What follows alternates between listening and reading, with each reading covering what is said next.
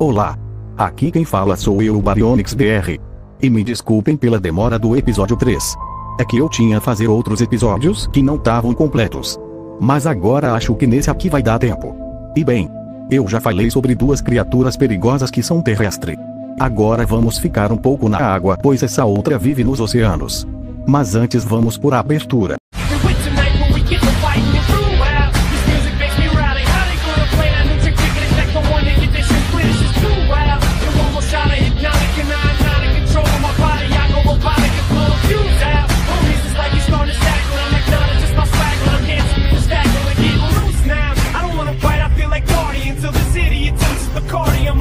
And knocks my. It never fails, I know I'm going to jail. I might as well take the laces out my. Here we go.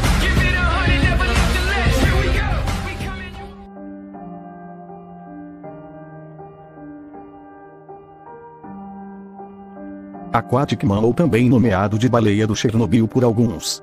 É o terceiro Man Mutants que foi estudado naquele tempo, junto no Tarman e no Plegman. Ele seria a primeira criatura aquática estudada pelo homem. Assim como que descobriram umas coisas que deixaram bem claro. O Aquatic Man teria nadadeiras que se pareciam mais para a asa de morcego e também pelo fato de que sua cabeça lembrava um pouco do Notlegman. Ele podia ter o mesmo tamanho de Notlegman ou mais um pouco mais maior, pois já que ele vive na água. E o seu alimento principal seria alguns peixes grandes, ou de vez em quando alguns humanos mutantes pequenos ou juvenis. Ele possivelmente poderia perder 3,4 toneladas já que ele era muito grande. E não tanto que ele não caçava sozinho, mas sim junto com outros da mesma espécie que ele. Assim como fazem os golfinhos e as baleias assassinas. E tem algumas teorias que esses bichos teria suas barbatanas pouco parecido com de morcego, serviriam para dar uns grandes pulos que nem os golfinhos e as arraias. Mas também tem outra que ele poderia usar para assustar os predadores tipo tubarões e os homens para assim conseguir sobreviver. Assim como o Dilophosauro do filme Jurassic Park.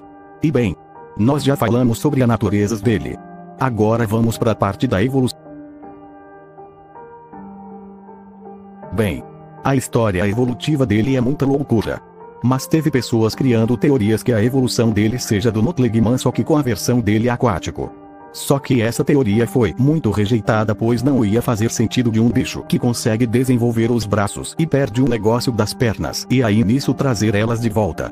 Mas tem outra que pode fazer sentido.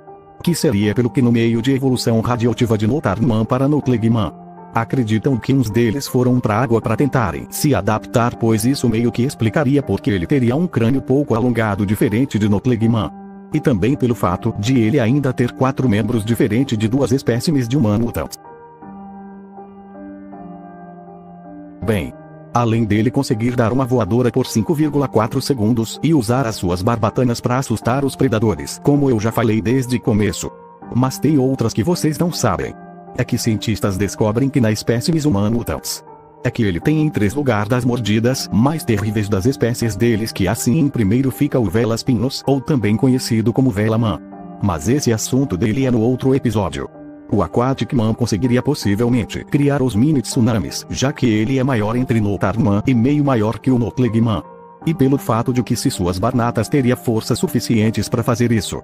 Mas a chance disso acontecer é por 2% de chances, pois ele não é acostumado a criar tsunamis. Eles são mais para ficar na água do que ficar por uns tempinho com a metade do corpo para fora.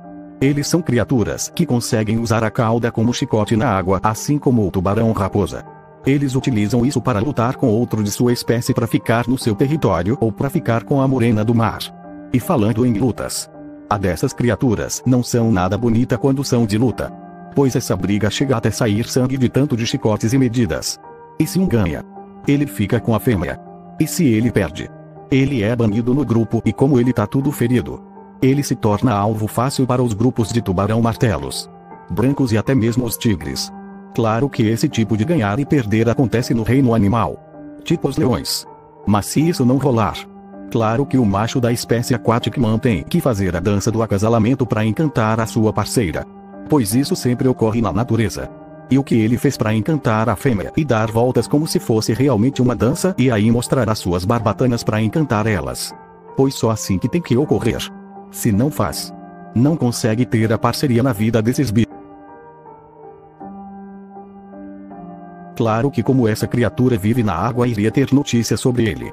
Em 2020 teve relatos de tinha uns dois grandes navios para entregar para outro continente para vender os peixes mais vendidos.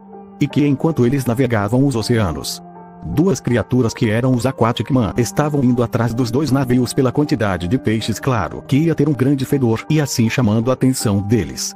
E o resultado foi nada bom, pois as duas criaturas conseguiram derrubar os dois navios, super enchidos de peixes. E ninguém sobreviveu depois disso das criaturas após de derrubaram para tentarem comer os peixes e tinham realmente conseguido para se, alimentar. Os cientistas começaram a fazer pesquisas de que quais motivos que eles fizeram esse estrago que fizeram. Teorizam que além do grande cheiro que seria possível, Acreditam que não foi só isso, mas também eles podem ter confundido com alguma criatura ou outro da espécie dele já que eles não enxergam. E que isso também acontece no reino animal no caso dos tubarões que atacam os surfistas, pois acharem que eram focas. Mas outros acreditam mais que sejam o cheiro por conta da maior quantia de peixes que tinham. Bem, em sua aparência foi baseada na Mosasaurus. Mas claro que como os humanos mutantes são mamíferos. E óbvio que baseei ele com os animais atuais. Em sua cabeça foi baseada, como de sempre, o crânio de babuíno, pois não é à toa que humanos são parentesco de macacos e primatas. E suas nadadeiras são baseadas em asas de morcego. Eu pus isso por conta que eu vi no vídeo sobre que os pinguins conseguem voar embaixo d'água que botarei aqui embaixo da descrição. E seu comportamento baseei no animal assassino que seja mamífero que vive no mar. Sim. Estou falando das orcas. As baleias assassinas que são parentesco dos golfinhos. E assim esse bagulho dá asas. E para ele planar um pouco assim como os peixes voador ou melhor. Que nem o Velociraptor do Prehistoric Planet que tem as penas para dar uns saltos e não cair gravemente ou meio que pré-voo né? Mas enfim galera. Esse foi o vídeo sobre a criatura humana Mutants. Espero que tenha gostado sobre ele aqui no canal. E logo logo irei falar de outro humano Mutants que é rei. Mas enfim. Era só isso e falou.